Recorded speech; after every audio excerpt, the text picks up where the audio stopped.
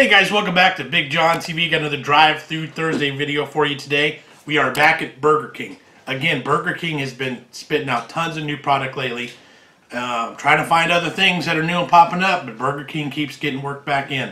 Um, I've got two things today. We're doing the flaming hot mac and Cheetos, the deep fried mac and Cheetos, and I've got the chicken cordon bleu sandwich.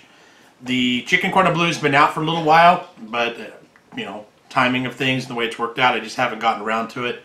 Um, the mac and the mac and Cheetos have been a, a regular thing, um, coming in and out of Burger King, but now they have a flaming hot version. And if you remember my last taste test of the regular mac and Cheetos, my complaint was that it needed something more, and dipping it in the hot sauce actually made it really really good. But then also, I did a taste test of mac uh, flaming hot mac and Cheetos that I found at Walmart. Um, they're make it home kind. So I've kind of had a little bit of both of the you know the regular and the spicy versions of the mac and Cheetos. So let's see if these from Burger King are any good. Uh, let's start there, and then I'll talk about the chicken cordon bleu when I'm after that. So a five pack, I think it's five pieces. Yeah, five pieces. Um, it was like two dollars and forty-five or two fifty, two sixty, somewhere around there. So it's got that nice crusty exterior. It's got that red tinge to it, like the the flaming hot Cheetos would. They smell cheesy. Let's take a bite.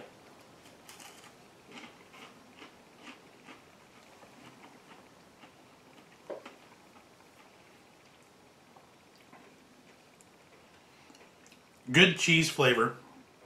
They didn't overcook these. Didn't overcook them, so there's still a good bit of uh, moisture in the cheese that's inside the macaroni and cheese. So overall, it's a good bite. These were fresh. It's early in the day, so they're crispy. Um, the mac, the flaming hot exterior has a nice kick to it. Uh, you know that these are flaming hot. You don't need to dip these in anything else spicy, but these are really good.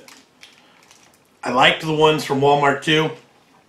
I wouldn't have gone out and bought a whole new box, but they're worth trying. And I say the same about these. Hmm.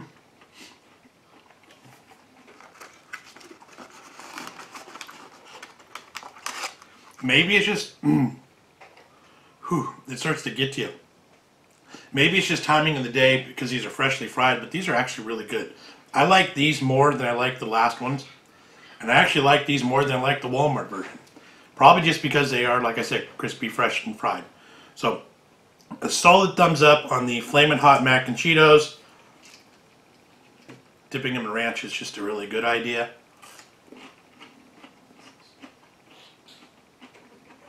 Yeah. Solid thumbs up on those. Um, they're probably limited time on those, just like the regular mac and Cheetos, so you better hurry up and find them. Moving on to the sandwich, the chicken cordon bleu. For those of you that don't know, the official definition, according to Wikipedia, a cordon bleu or schnitzel cordon bleu is a dish of meat wrapped around cheese, then breaded and pan-fried or deep-fried. So uh, Burger King has their version, introducing the chicken cordon bleu sandwich made with 100% white meat, seasoned crispy chicken fillet, layered with mouth-watering tomato pepper signature sauce, black forest ham, and melted mozzarella cheese on a golden brown potato bun. So it seems like it's the same chicken patty that they've been using for the past couple of signature chicken burgers, chicken sandwiches. Their Parmesan and the red hot one, the spicy one. Those are both really good. First, first thoughts on this coming out of the package, it's really messy. But it smells good. It's clearly it's cheesy. There is at least two full slices of ham. And we now know that's Black Forest ham. The there is a couple pieces of bacon, which I don't that wasn't in the description, but if they want to give me free bacon on a burger, I will never pass that down. Yeah, there's bacon in there. Bonus. And quite a hefty little hunk of cheese in there. So I've already tasted, just by licking the finger there, the tomato pepper signature sauce. It's got a nice sweetness to it. I don't know about the pepperiness on there, but let's take a bite.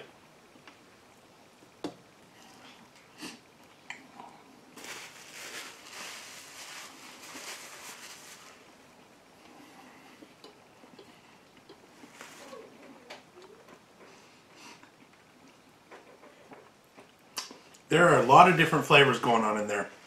You get that tomatoiness, so there's almost an acidity, and then it's. I'm not getting any pepperiness, but it. It's almost got a sweetness to it too, with the, with the tomato sauce in there. The ham's got a really good flavor. It's a nice saltiness in there, but it's not over the top. And I can actually taste the cheese.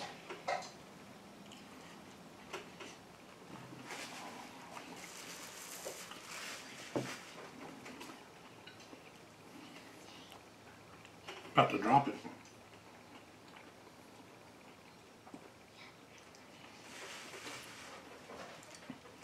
I've been a fan of the other ones, and this one this one delivers as well. I am a fan of this one too. The price point's a bit high, just as all the others are. That's I, I guess that's just going to be inevitable. You can't get around that. You want the big, the big menu item. It's, I think this was like five bucks, five sixty nine, somewhere around there. It is a large chicken patty. There's a lot of extra stuff on it, so I, I think it's justified. This has got a nice, interesting twist. This is different. I don't know if I've ever had a, a fast food chicken cordon bleu sandwich, but that's, I dig it. It's good. Different.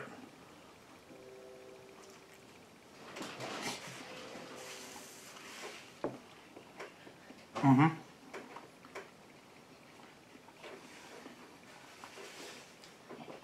Solid thumbs up. This one's already been in the restaurant for a little while, so if you're interested in trying it after this review, you might want to go get it quick because I don't know how long it's going to be there. But I definitely, I definitely recommend these. These are good. And that's it. We're going to wrap it up. Thanks for watching, guys. Make sure you hit that like button, subscribe, share it to friends. Thanks for the support. BigJon TV. Catch you next time. Okay, so if you missed my original Burger King Mac and Cheetos video, the taste test, uh, Drive Through Thursday, we'll post it right here for you. And then here's the Walmart version of the mac, the Flamin' Hot Mac and Cheetos that we do at home, right here.